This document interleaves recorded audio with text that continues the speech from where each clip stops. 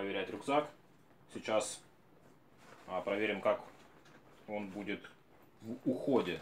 Если вы берете его для школы, то наверняка где-то можно его будет вымазать карандашом или ручкой. Ну, допустим, здесь я возьму сейчас, подчеркаю карандашиком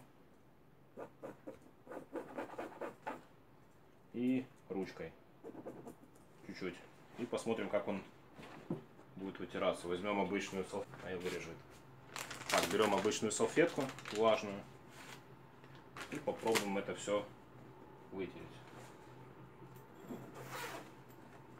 Вот оно выпачканное.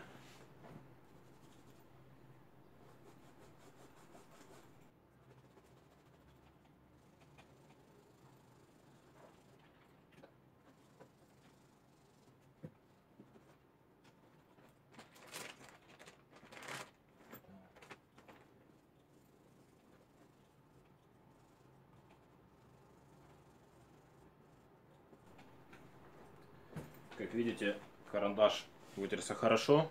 То есть, если какая-то будет где-то тиранулся рюкзаком или отпечаток ноги, все это можно будет салфеткой легко вытереть. Но ручка оттирается легко, поэтому нежелательно его пачкать чернилами или чем-то другим.